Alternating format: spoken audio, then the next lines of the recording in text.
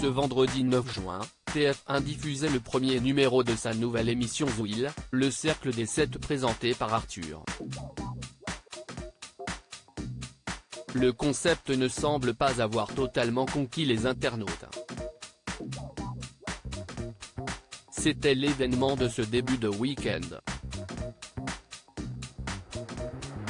Ce vendredi 9 juin, TF1 diffusait le premier numéro de la nouvelle émission Zouil, le cercle des sept présenté par Arthur.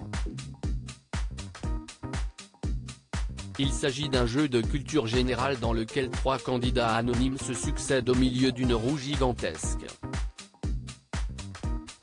J'ai trouvé le format tellement génial que j'aurais été vexé qu'il le propose à quelqu'un d'autre, a déclaré Arthur dans une interview à Télé Loisirs. Parmi les invités, l'animateur recevait Caroline Anglade, Julie Debona, Chin, Philippe Manœuvre, Michel Saran, Elise Moon et Arnaud Samer. Ils ont été rejoints par Clarisse Agbenienou, Karima Charny et Alex Vizorek pour la deuxième manche.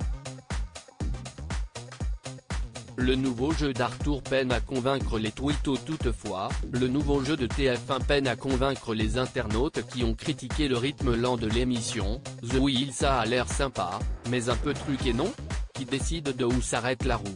Si qui un peu joué d'avance, je m'interroge juste, un quart pour expliquer les règles, il commence bien ce jeu, bon, je dois avouer que Mask Singer me manque, les candidats sont des comédiens si est-ce pas possible là, on est d'accord que cette roue pour AVL ralentit juste un peu plus qu'un jeu déjà lent et moisi L'émission est bien mais pas l'animateur, on se fait CHR, j'éteins The Wheel ou encore SS tellement lent avec peu de questions, pouvons-nous lire sur Twitter?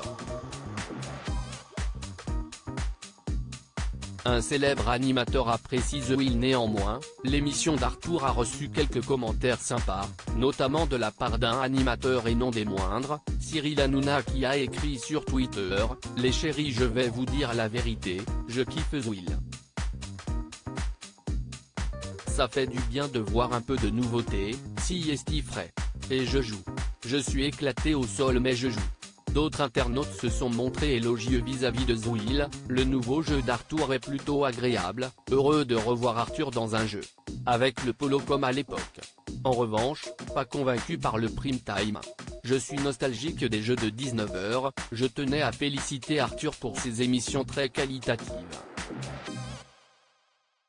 Sans vulgarité et grossièreté. L'aventure The Will n'est qu'à son début puisque TF1 prévoit de diffuser deux autres numéros les 23 et 30 juin prochains.